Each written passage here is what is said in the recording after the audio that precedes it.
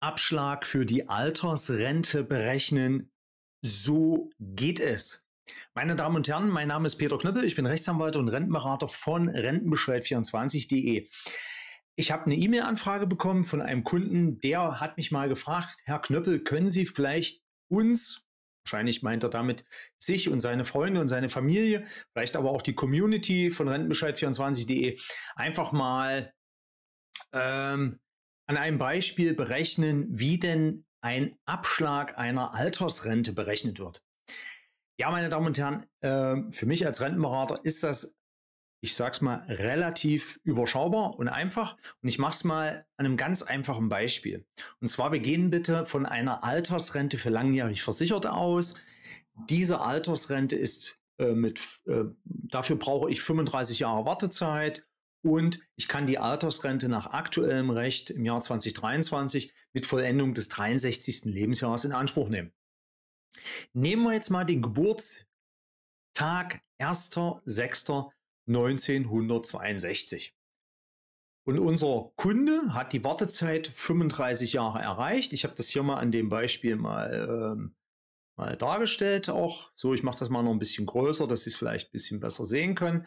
Ja, unser Kunde hat die 35 Jahre Wartezeit erreicht und er hat in der Rentenauskunft, ähm, hier habe ich einen kleinen Fehler drin, den nehmen wir mal schnell weg und er hat in seiner Rentenauskunft aktuell im Jahr 2023 stehen bei ihm 44,4567 Entgeltpunkte als Summe aller Entgeltpunkte ähm, zur Verfügung. Das heißt also, der hat vom Beginn seiner Berufsausbildung bis zum sagen wir mal 1.8.2023 hat er genau diese 44,4567 Entgeltpunkte erwirtschaftet. Und der will jetzt wissen, wie berechnet sich der Abschlag für seine Altersrente? Er will mit 63 glatt in Rente gehen, ja? Hier ist also sozusagen, hier beginnt sozusagen der, äh, die Fragestellung, wie berechnet sich der Abschlag für seine Altersrente? Und wie hoch wird sein monatlicher Rentenverlust in Euro ausgedrückt sein. Meine Damen und Herren, bevor ich das aber jetzt mal ausrechne, möchte ich noch mal ganz kurz was zu dem sogenannten Abschlag sagen. Wir sprechen immer vom Abschlag. Im Gesetz steht aber nicht Abschlag, sondern Zugangsfaktor.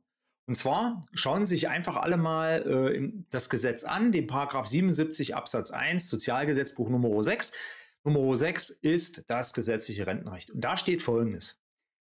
Der Zugangsfaktor richtet sich nach dem Alter des Versicherten und bestimmt, in welchem Umfang Entgeltpunkte bei der Berechnung des Monatsbetrags der Rente als persönliche Entgeltpunkte zu berücksichtigen sind. Ja, jetzt werden Sie sagen, um Gottes Himmels Willen, das verstehe ich ja gar nicht, was der Knöppel da sagt. Äh, was will er uns damit sagen? Also, ist ganz einfach. Wir haben diese 44,4567 Entgeltpunkte. Und die Monatsrente wird berechnet, indem wir aus diesen 44,4567 Entgeltpunkten persönliche Entgeltpunkte berechnen. Das heißt also aus der Summe der Entgeltpunkte 44,4567 werden persönliche Entgeltpunkte berechnet.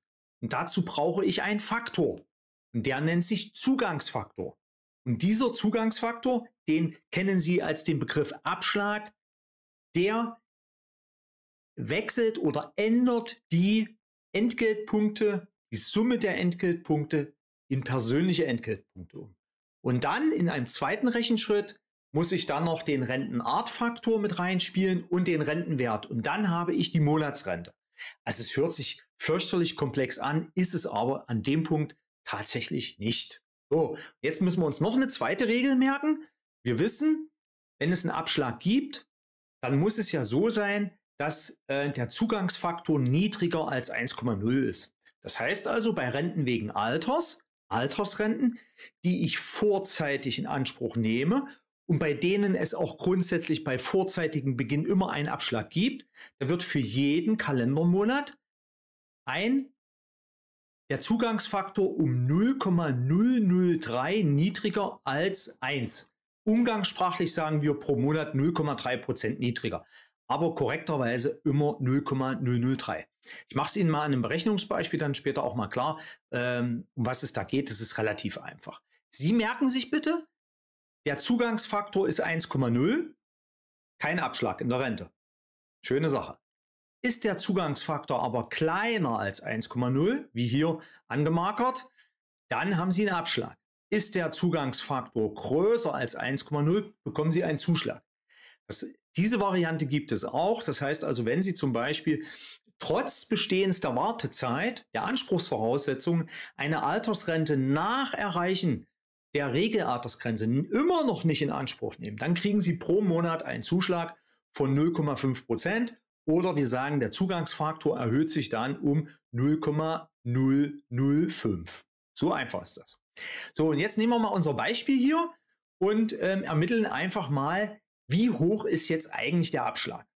Und unser Kunde will ja zum 1.6.2025 in Rente gehen.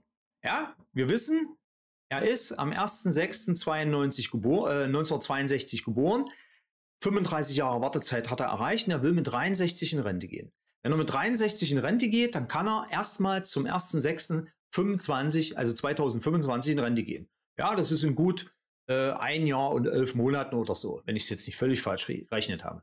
So, und der Abschlagszeitraum berechnet sich bei ihm grundsätzlich bis zum Erreichen der Regelaltersgrenze. Wenn er also am 1.6.25 in Rente geht, ja, dann müssen wir prüfen, wann erreicht er seine Regelaltersgrenze. Die Regelaltersgrenze erreicht er mit Ablauf des 31.01.29, also am 1.2.2029.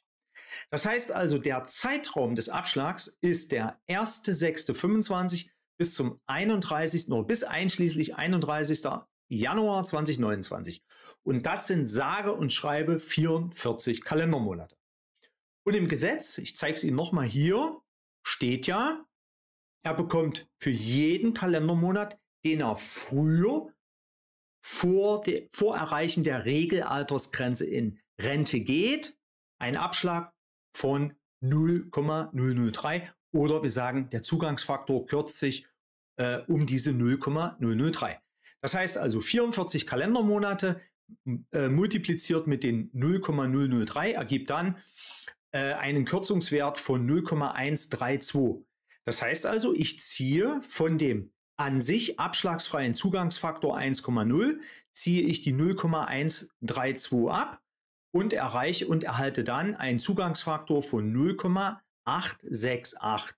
Oder wir nehmen die 44 Kalendermonate und multiplizieren die einfach mit 0,3 und erhalten dann einen 13,2 Prozent Abschlag. Ja, Sie können es auch mit dem Prozent berechnen. Das ist mir eigentlich völlig egal. Oder halt eben so, wie ich es mache. Äh, wir kommen nachher zum Schluss immer auf dasselbe Ergebnis. So, meine Damen und Herren, 13,2 Prozent, das ist schon fast die Höchststrafe an Abschlag. Jetzt berechne ich nochmal die Monatsrente, die unser Kunde zum 1.6.2025 ähm, erhält. Wir haben ja gesagt, er hat 44,4567 Entgeltpunkte. Das heißt also, das ist die Summe aller Entgeltpunkte, die er bis zum Stichtag äh, 1.8.23 erwirtschaftet hat. Und das heißt also, ähm, diese Entgeltpunkte werden dann mit dem äh, Zugangsfaktor 0,868 vervielfältigt. Ja? Hier gucken Sie bitte nochmal hier rein. Hier steht, der Zugangsfaktor richtet sich nach dem Alter des Versicherten und bestimmt, in welchem Umfang Entgeltpunkte bei Berechnung des Monatsbetrags der Rente als persönliche Entgeltpunkte zu berücksichtigen sind. Das heißt also, wir wandeln jetzt, wie ich es vorhin schon gesagt habe, die Entgeltpunkte in persönliche Entgeltpunkte um.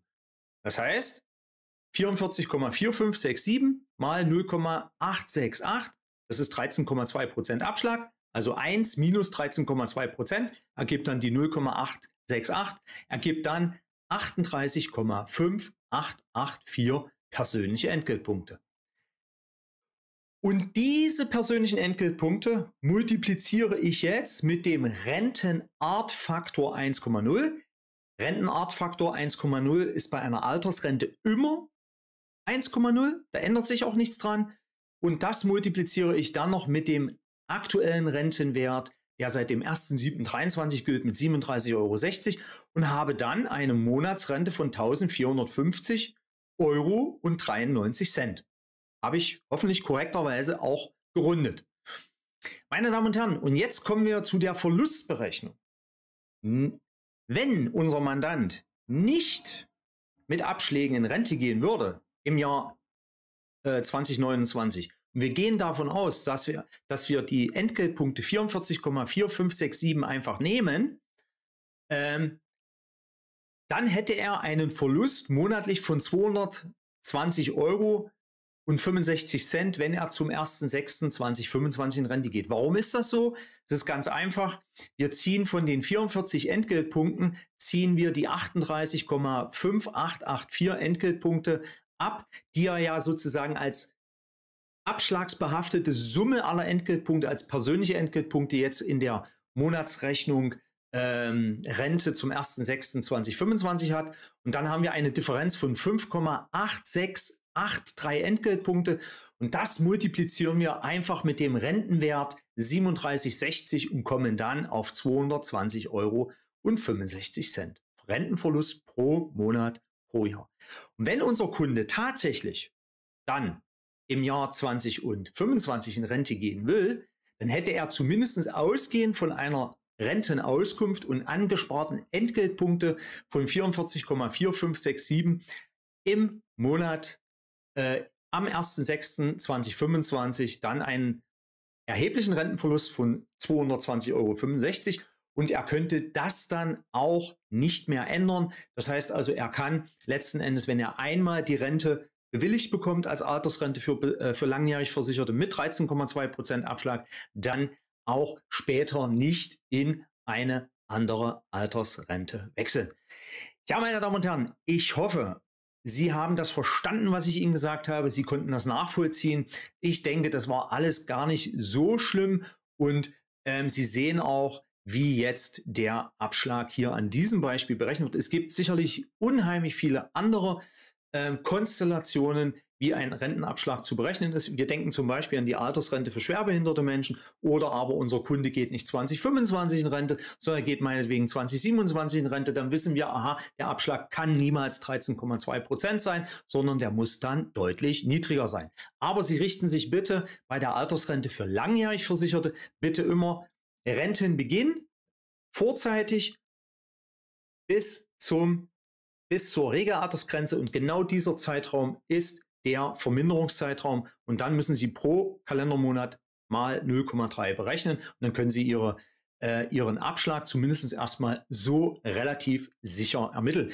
Ansonsten fragen Sie bitte bei der Deutschen Rentenversicherung oder Ihrem Rentenversicherungsträger nach oder aber wenden Sie sich vertrauensvoll an rentenbescheid24.de.